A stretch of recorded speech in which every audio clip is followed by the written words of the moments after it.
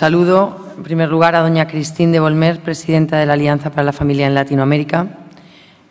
Eh, saludo a don Ignacio Echeverría, presidente de la Asamblea de Madrid, que sé que está, sé que está en la sala. Buenos días.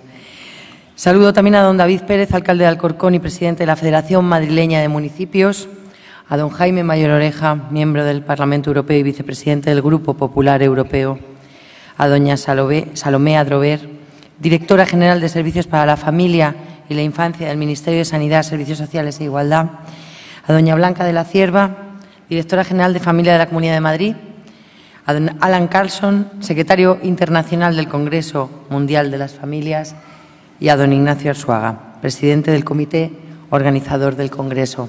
Buenos días.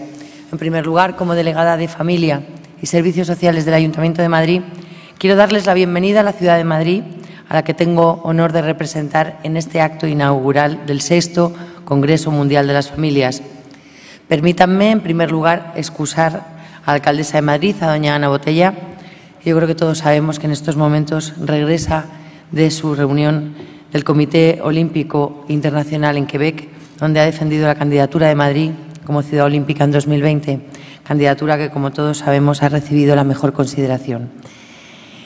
Y Madrid acoge en estos días el sexto Congreso Mundial de las Familias, con el mismo espíritu que caracteriza a Madrid, con espíritu abierto y conciliador, donde estoy segura van a poder trabajar en esos retos de los que hablaba ahora mismo el presidente de las familias. La familia es la institución más valorada e importante para los españoles en general y para los madrileños en particular, donde se fomenta la solidaridad intergeneracional y al mismo tiempo se impulsa la sensibilización, por supuesto, sobre los derechos de la infancia.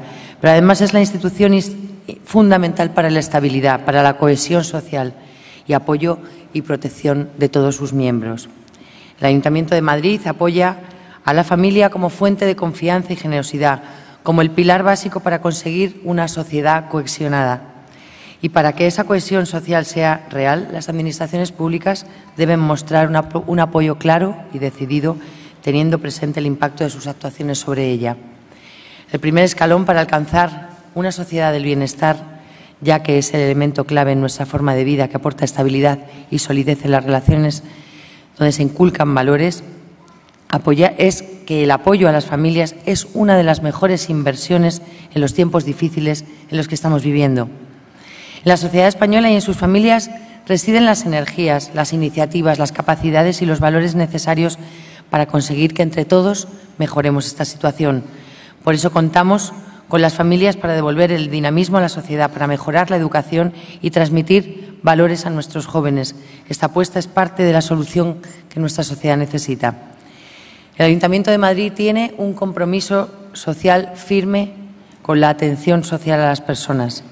El Gobierno de la ciudad está realizando y seguirá haciendo todos los esfuerzos necesarios para que ninguna familia se quede atrás en estos momentos, porque reconocemos a la familia como la columna vertebral de la sociedad.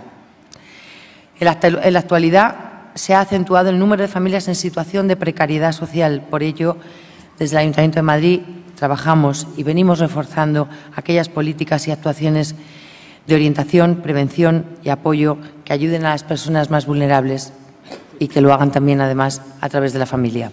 Señoras y señores, debo ser breve. Ponentes y asistentes, em, yo les deseo de verdad que en Madrid se lleven esos trabajos con éxito, que esta bandera que acaba de recibir, eh, bueno, pues, pues en Madrid eh, se afronten esos retos eh, vayamos hacia adelante y, desde luego, que sea un Congreso Mundial de las Familias ejemplar, porque no puede ser de otra forma. Muchísimas gracias, presidente.